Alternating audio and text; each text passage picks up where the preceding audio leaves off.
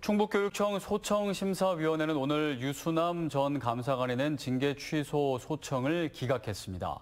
유 전 감사관의 소청은 도교육청이 단재교육연수원 특정 강사 배제 의혹에 관한 사안조사 처리 과정에서 유 감사관의 지시 불이행 등 책임을 물어 지난 3월 정직 2개월의 징계를 내린 데 대해 제기한 것입니다.